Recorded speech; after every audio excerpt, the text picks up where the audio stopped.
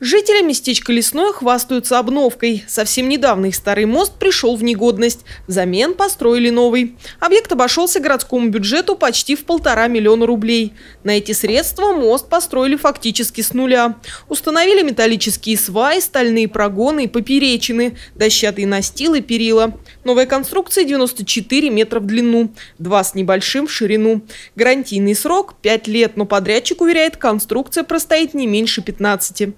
В течение пяти лет подрядчик за свой счет будет э, устранять любые э, появившиеся здесь недостатки, но я думаю, что и местные жители об этом тоже говорят, э, что мост, моста такого, э, такой характеристики здесь не было никогда. И сегодня действительно для этого уголка нашего города, очень красивого, появилась возможность организовать нормальное пешеходное сообщение.